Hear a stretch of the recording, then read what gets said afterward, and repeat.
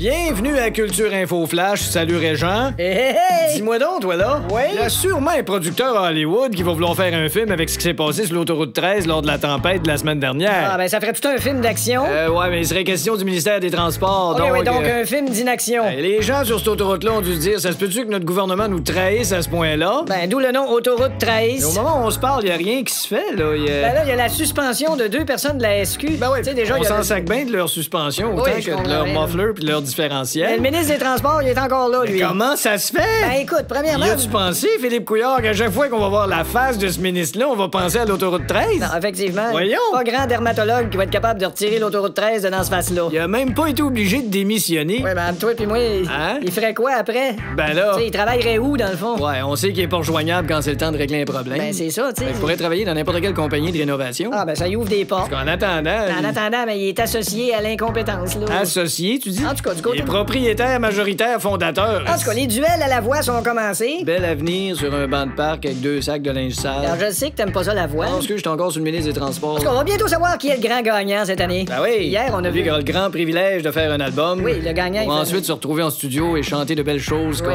comme Le beau répare, le beau remplace. Et pour finir, on a trouvé un clip cocasse sur YouTube. Non. C'est la chancelière allemande Angela Merkel. Ok, Pourquoi on dit chancelière? Hein? Pourquoi on appelle ça une chancelière? Je sais pas. Tu sais, comme Donald Trump, c'est un président. Ah, doit être pour ça qu'elle aime mieux se faire appeler chancelière. Ah, c'est ça. Je pense que tout le monde va être des chanceliers à cette heure. Poser la question, c'est y répondre. Tu sais, Donald Trump qui a pas voulu lui donner la main. là? Ouais. Ben là, on n'a pas vu ça, nous autres, mais quand t'es sorti de la pièce, Donald Trump, il voulait lui donner la main, là. Ah ouais, t'as ce clip-là, toi? Oui, on regarde ça. Bon, ben, m'en va. Oh, hey, Angela, Angela, Angela, Angela! Non, laisse Ah, faire. je vais t'en donner une poignée de main, là. Pas besoin. T'en veux-tu une poignée de main? c'est beau, j'ai une poignée de porte, là.